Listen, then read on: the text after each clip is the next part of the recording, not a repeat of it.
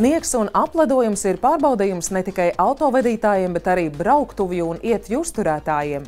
Degvielas cenas ir krietni atstājuši iespēju uz kopējām izmaksām, tāpat ar, arī sāls. Mežotnes pils liktenis ir atkarīgs arī no politiķu izšķiršanās. Vieniem pašiem mums tas nav pa spēkam. Mums jau pašlaik ir eh, gan Bauskas muzejs, gan Bauskas pils muzejs ar filiāli Pludoņa muzejs. Dzīvnieku aizsardzības organizācijām līdzekļu pietiek vien mazai daļai no visām dzīvnieku vajadzībām. Es saprotu to, ka šobrīd ir tie milzīgie rēķini par apkūru un par ūdeni. Tad cilvēks rēķinās ar to, cik viņš varēs izdot par dzīvnieku, cik viņam atliks pašam. Labvakar un esiet sveicināti RTV skatītāji. Pareizs laiks septiņi un ar ziņām šeit studijā Solvita Stara. Pēc tam, kad savus ministru amata kandidātus šodien paziņoja arī partiju apvienība, apvienotais saraksts tagad oficiāli kļuvis zināms Krišjāņa Kariņa otrās valdības iespējamais sastāvs. Topošajā valdībā partiju apvienība jaunā vienotība plāno virzīt Ārvilu Ašeradenu, finanšu ministra, Edgaru Reņkeviču, ārlietu ministra, Inesi Lībiņu Egneri, tieslietu ministra, Andu Čakšu, izglītības un zinātnes un Raimondu Čudaru, klimata un enerģētikas ministra, kā arī Eviku Siliņu, labklājības ministra amatiem. Nacionālā apvienība ekonomikas ministra amatam izvirzījusi Ilzi Indriksoni, aizsardzības ministra amatam Ināru Mūrnieci, kultūras ministra amatam Nauri Puntuli, bet satiksmes ministra amatam Jāni Vitenbergu. Tikmēr apvienotais saraksts veselības ministra amatam izvirzījis Latvijas darba devēja konfederācijas ģenerāldirektoras Līgas Meņģelsonas kandidatūru. Zemkopības ministra amatam Dīdzi Šmitu, iekšlietu ministra postenim Māri Kučinski, bet vides aizsardzības un reģionālās attīstības ministra amatam Māri Sprindžuku. Gala lēmums, kurus kandidātus virzīt apstiprināšanai ministru amatos atbilstoši satversmei, būs jāpieņem valsts prezidenta Egīla Levita nominētajam ministru prezidenta amata kandidātam Krišānam Kariņam. Kā ziņots iecerēts, ka par jauno ministru kabinetu saima varētu balsot decembra vidū. Nacionālā elektronisko plašsaziņas līdzekļu padome ir nolēmusi anulēt apraides atļauju šobrīd Latvijā strādājošajai Krievijas neatkarīgai TV programmai Dožģi jeb TV Rein. Padomas priekšsēdētājs Ivars Āboliņš norāda, ka lēmums pieņemts vērtējot pārkāpumu gadījumu kopumu. Saistībā par TV Rein pieļautajiem pārkāpumiem Nacionālās elektronisko plašsaziņas līdzekļu padomas priekšādātājs Ivars Āboliņš norāda gan valsts valodas celiņa nenodrošināšanu pārraidēm, lai gan ienākot Latvijā solīts to nodrošināt. Apraides atļauja TV Rein izsniegta jūnijā, bet līdz šim tā arī tas nav izdarīts. Arī Krimas attēlošana kartē, kā daļu no Krievijas teritorijas, par ko TV Rein savulaik jau aizliegts Ukrainā, un arī Krievijas armijas saukšanu par mūsu armiju. Arī šis pēdējais gadījums, kad ēterā tika paziņots par būtībā atbalstu okupantu armijai un paustas bažas par okupantiem, kuri salst un kuriem ir, ir jāpalīdz. Taču ir jāsaprot, ka katrs šis okupants ir ieradies Ukrajinā, lai nogalinātu un izvarotu Ukrāņus. Un izteikt jau kādu atbalstu viņiem ir vienkārši nepieņemami. Tāpat mēs esam saņēmuši vēstuli no valsts drošības dienesta, kas ir viena no šīm te, šīs te puzles gabaliņiem. Un vērtējot visu šo pārkāpumu kopumu, mēs esam nonākuši pie secinājuma, ka TVRN vadība neizprot un neapzinās šo pārkāpumu būtību un raksturu, un viņu atrašanās šeit Latvijā vairs nav iespējama. Sīkāk valsts drošības dienesta sniegto informāciju Ivars Āboliņš neatklāja. Lēmums par apraides anulēšanu TV Rein rīt tiks publicēts Latvijas vēstnesī, un aktīvs ceturtdienu tam ir jāpārtrauc raidīt. Padomes lēmumu gan ir iespējams pārsūdzēt. Mēs arī lūgsim YouTube uzlikt ģeobloku Latvijas teritorijā, taču Krievijā viņi jebkā, jebkurā gadījumā būs redzami, ja viņi vēlēsies turpināt savu darbību, un neviens nav aizliedzis viņiem turpināt strādāt. Tātad šobrīd viņiem ir par konkrētu pārkāpumu izdarīšanu atņemta apraide Latvijas Republikā. Latvijā šobrīd darbojas vairāki desmiti ar Krieviju saistīti mediju un žurnālisti, un monitorējot Latvijas informatīvo telpu, Ivars Āboliņš vēl piebilst, nav konstatēts, ka kāds no tiem veiktu kādus pārkāpumus. Problēmas bijušas vienīgi ar TV Rein. Elīna Lapiņa, RTV. Jāpiebilst, ka darba dienas izskaņā valsts drošības dienests mēdījiem izsūtīja informāciju, ka ir izvērtējis televīzijas kanāla TV Reina 1. decembra raidījumā šeit un tagad paustos izteikumus, secinot, ka tie ir vērtējami kā aicinājums sniegt materiālu atbalstu Krievijas okupācijas spēkos mobilizētajiem karavīriem. Valsts drošības dienesta vērtējumā raidījumā paustie izteikumi ir vērsti pret Latvijas nacionālās drošības interesēm un rada maldīgu priekšstatu par Krievijas armiju, veicinot sabiedrības līdzcietību pret agresoriem. Dienests savu vērtējumu par raidījumā paustajiem izteikumiem nosūtīja Nacionālajai elektronisko plašsaziņas līdzekļu padomei. Tāpat veiktās pārbaudes gaitā noskaidrots, ka 1. decembra raidījums šeit un tagad ir ticis filmēts televīzijas kanāla TV Reina redakcijā Gruzijas galvaspilsētā Tbilisī. Izteikuma autors raidījuma vadītājs pastāvīgi uzturs un strādā Gruzijā, tā kā viņam nav uzturēšanās atļaujas Latvijā, tad saskaņā ar krimināla likuma 4. pantu persona Latvijā nevar tikt saukta pie krimināla atbildības. Vienlaikus drošības dienas ir rekomendējis iekšlietu ministram iekļaut raidījumu vadītāju tā dēvētajā melnajā sarakstā, jeb ārvalstnieku sarakstā, kuriem ieceļošana Latvijā ir aizliegta.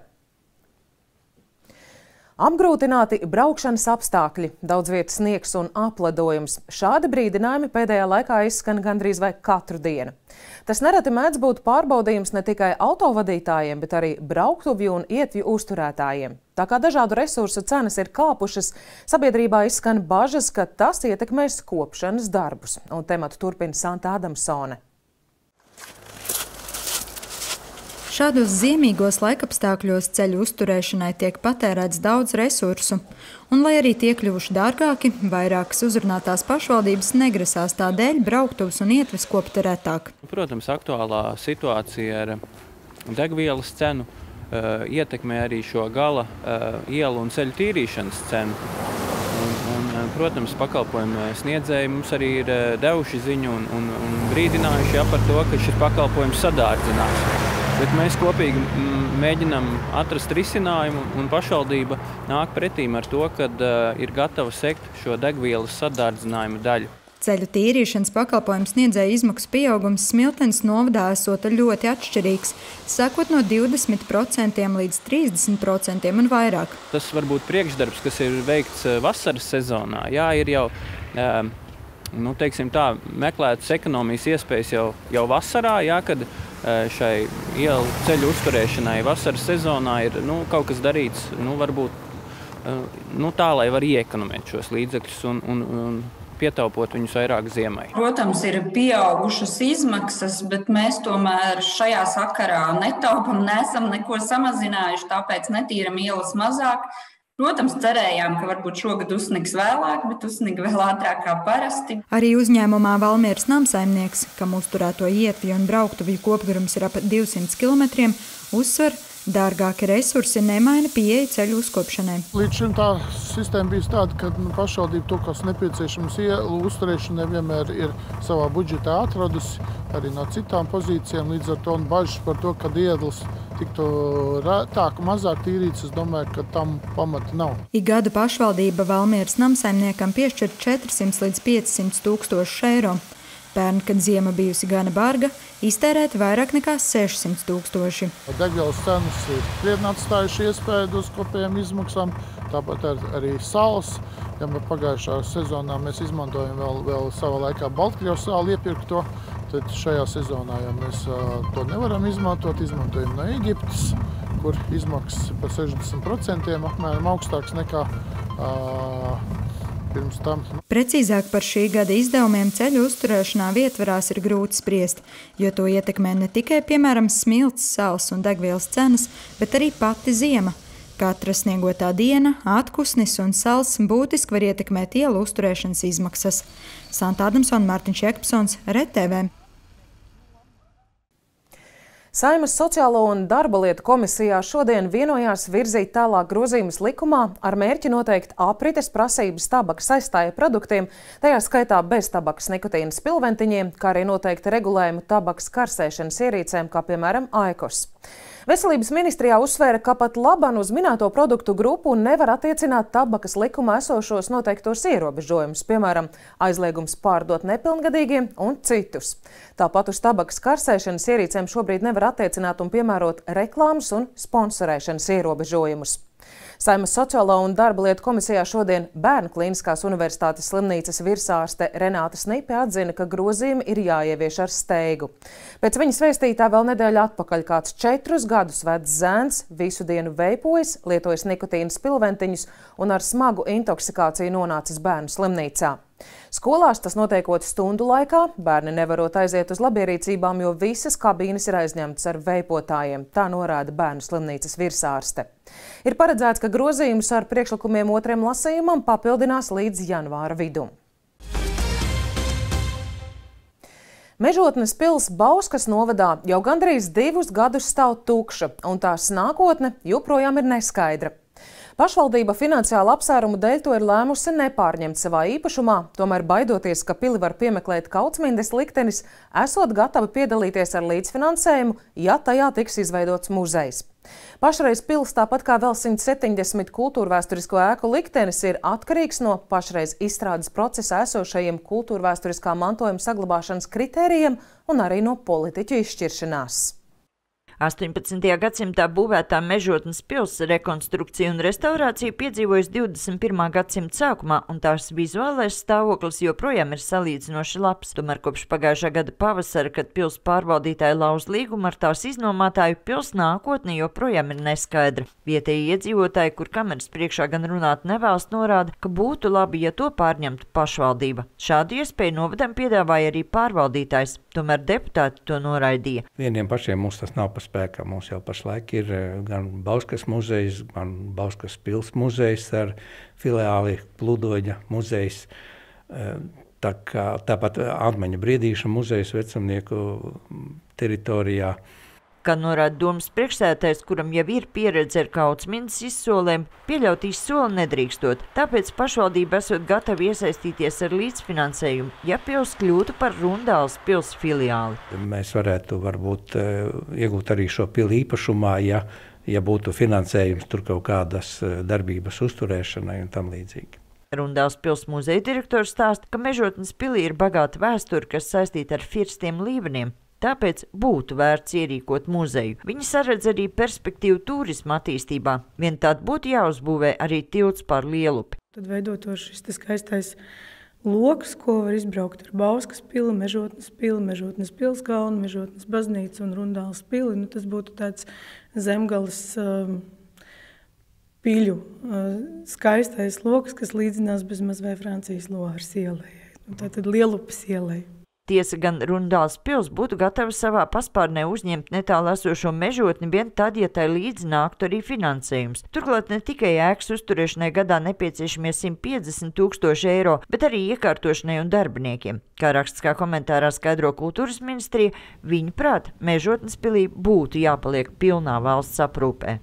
Kultūras ministrijas budžetā šādu finansējumu nav. Tomēr pēc kultūras ministrijas rīcībā esošās informācijas valsts nekustamie īpašumi un finanšu ministrija gatavo informatīvo ziņojumu, kura mērķis ir rast sistēmisku risinājumu īpaši nozīmīgu valsts īpašumā esošu valsts nozīmes kultūras pieminekļu, kuri netiek izmantoti valsts pārvaldes funkciju veikšanai, uzturēšanai un attīstībai. Līdz ar to kultūras ministrijas ieskatā konsultācijas par pils tālāko attīstības modeli turpināmas pēc šī ziņojuma apstiprināšanas apstiprināšanas ministru kabinetā. Ziņojums tuvāko mēnešu laikā tiks virzīts izskatīšanai ministru kabinetā, bet cik ir iesaistītas daudz iestādes, tad uh, tas nevirzās ļoti ātri. Bet, uh, šis virzītu attīstību uh, kultūras vēsturisko mantojumu saglabāšanai. Jaunos kriterijus gaida 171 kultūra vēsturiskā ēka, bet izšķiršanās, kam piemērot izstrādātos kriterijus, gan būšot politisks lēmums. Līdz tam gan mežotnes pilī sola izsoli nerīkot. Sandra Leitāna, Andrs Pāns, RTV. Valsts ieņēmumu dienesta nodokļu un muitas policija ir veikusi deviņas kratīšanas kādā pārtikas produktu ražošanas un vairumtirdzniecības uzņēmumā saistībā ar aploksņa algu izmaksu. Novembrī veiktas deviņas kratīšanas Kuldīgā, Talsos, Tukumā, Jelgavā un arī Jēkapilī. Kratīšanu laikā izņemti mobīlie tālruņi ar mobīlo aplikāciju WhatsApp un Telegram sarakstēm, aploksņa algu izmaksu saraksti, kā arī citi krimināla procesam nozīmīgi priekšmeti. Izmeklēšanā noskaidrots, ka uzņēmums no 2000 2020. gada janvāra grāmatvedības uzskaitai nav pilnā apmērā uzrādījis darba ņēmējiem izmaksāto darba samaksu un pārējo izmaksājis skaidrā naudā. Aģentūras Leta rīcībā esošā neoficiālā informācija liecina, ka minētais uzņēmums ir Talsos reģistrētā SIA pakalnu gaļa. Bet pēc deviņu mēnešu pārtraukuma aizkraukles novada Sunākstes ciemā atkal ir pārtikas veikals. Visu šo laiku sunākstiešiem pēc pārtikas un arī citām pirmās nepieciešamības precēm nācās braukt 11 un pat vēl vairāk kilometrus uz citām apkārtējām apdzīvotām vietām. Tādēļ veikala atvēršana iedzīvotājiem patiešām bija liels notikums. To izveidojusi kāda vietējā ģimene un vairāk stāsta Sandra Paigļkalne.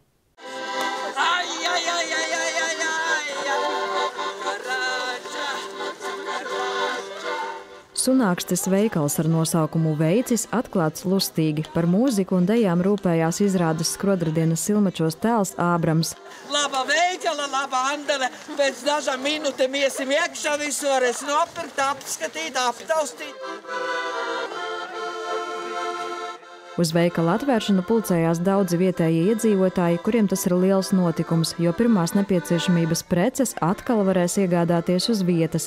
Iepriekš ciematā darbojās Elvī, bet februāra beigās to aizvēra, jo bija nerentabls. Iedzīvotājiem nācās iztikt ar autoveikala pakalpojumiem vai doties iepirkties citviet. Tagad redzams ir, to var paņemt, šito var paņemt, bet eh, autoveikala tur jau tā nu, ir, bet nu, ne tik labi kā veikala. Līdz šim bija ļoti grūti. Vajadzēja braukt, meklēt vai no zviesīti tuvāko veikalu, vai, vai nu, reizi nedēļā braucām uz pilsētu iepirkties. Nu, tagad ir ļoti skaisti. Lai ciematā atkal būtu veikals, drosmīgu soli uzņēmās vietējā iedzīvotāja Laima Jaškova, kurai jau ir pieredze darbā tirzniecības nozarē. Nespējot palikt malā, viņa iegādājās veikala ēku, ko īpašnieks bija izsludinājis pārdošanā, veica telpu remontu un izveidoja uzņēmumu. Vienu dienu pamodus, un ja nevienam, tad es kas tad cits, ja ne es? Tā kaut kā. Jā, un sāku darīt. Darbā pieņemta viena pārdevēja, bet pārsvarā veikalā strādās Laima un viņas ģimene. Visiem bērniem ir uh, sava nodarbošanās, bet tad, kad ir mājās, tad atskrien un palīdz. Un viena no meitām būs uh, pie kas, kas saka, veikalā ik pa laikam parādīsies. Bet vienam cilvēkam pagastā es jau esmu iedevusi darbiņu. Uzņēmīgiem cilvēkiem urā, un tas ļoti jauki, ka savējie vietējie to dara un atver. Un ceram, ka mums nebūs viņiem jāizver mūsu veikals, lai vismaz pēc maizes piena atnāktu, jo aizskiet šos gabalus. Piedodiet, arī vecie cilvēki nevar, mēs jaunie vēl aizbrauksim. Sunākstei tuvākās pilsētas ir viesīta Jēkabpils un aizkraukla. Turklāt daudzi kilometri jāmēro pa sliktas kvalitātes ceļiem, tādēļ problēmas var sagādāt preču piegādes.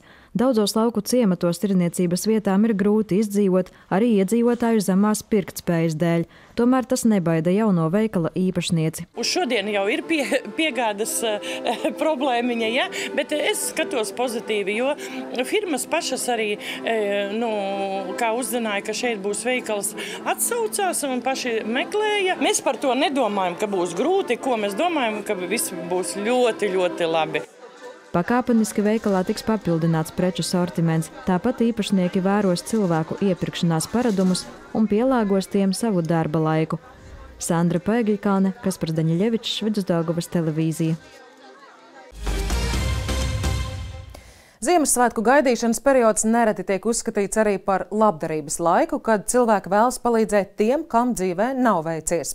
Tomēr šogad gan globālo nemieru, gan pandēmijas rezultātā situācija labdarības un ziedojuma ziņā ir mazliet citāda. To izjūt arī organizācijas, kas ikdienā rūpējas par dzīvniekiem. Dzīvnieku aizsardzības organizāciju darbība nereti balstās uz līdzcilvēku ziedojumiem.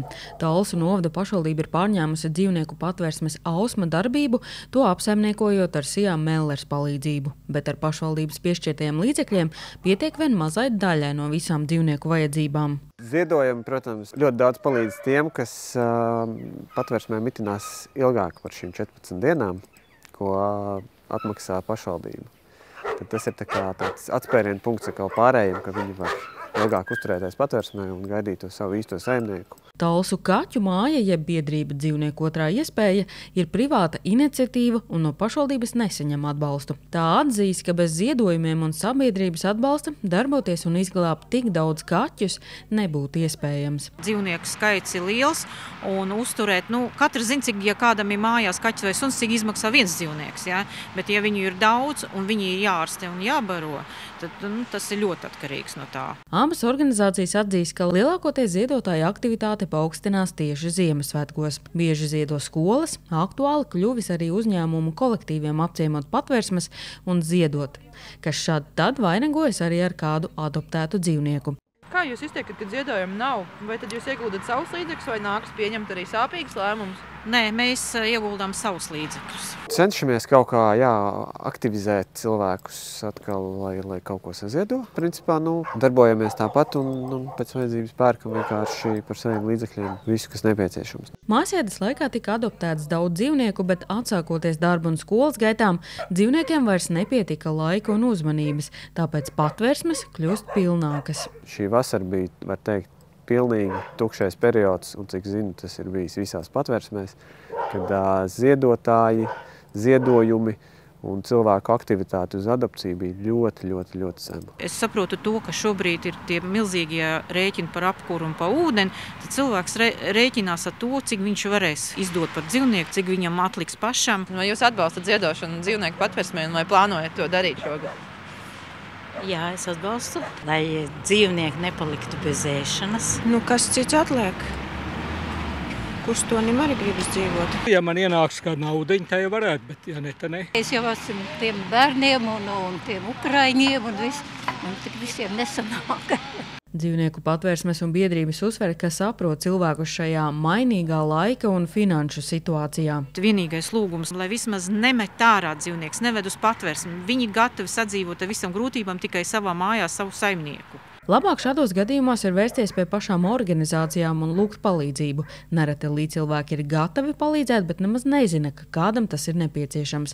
Jo galu galā cilvēks tomēr ir atbildīgs par tiem, ko pieredzinājis. Sanita Liepiņa, Tie Volanda Ģets Grenvits, TV9 pakalni. Izskan RTV ziņas pulkstenis septiņos. Tagad laika prognoze. Mēs ar jums vēl šovakar tiekamies ziņās pulksteni deviņos, pēc kurām ēterā ir gaidāms arī kāds jaunums. Un tas ir raidījums Manas bērnības atmiņas. Šis raidījums būs par maestro Raimondu Paulu. Visu labu! Naktī debesis lielākoties klārs mākoņi, gaidām arī nokrišņi. Ja Liepājā un Saldus pusē tas būs lietus, tad pārējā valstī gaidāma snikšana. Gaisa temperatūra naktī būs no mīnus 3 grādiem alūksnē un rēzeknē līdz 0 grādiem piekrastē un arī Saldus pusē. Arī dienā debesis joprojām lielākoties klārs mākoņi, dienas gaitā gaidāmi nokrišņi, sniegs, gaisa temperatūra no plus 1 grāda kurzemes piekrastē līdz mīnus 4 grādiem alūksnē, Madonā un Rēzaknē. Turpmākajās dienās saulamīsies ar mākoņiem, gaidāms sniegs, gaisa temperatūra dienas laikā no plus 2 līdz mīnus 5 grādiem. Naktīs debesis klāsts mākoņi, gaidāms snikšana, gaisa temperatūra no plus 2 līdz mīnus 8 grādiem.